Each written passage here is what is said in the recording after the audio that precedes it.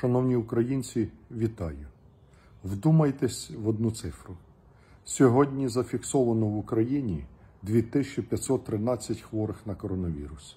Із них 334 людини це медичні працівники. Тобто кожний сьомий із е, коронавірусом це медик.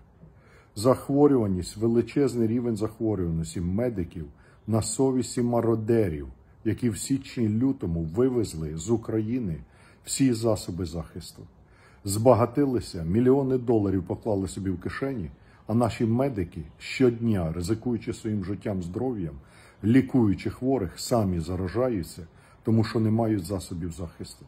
Тому я вимагаю вкотре від влади негайно провести розслідування, не становить жодної проблеми з'ясувати, хто вивозив, скільки вивезли, де діли гроші?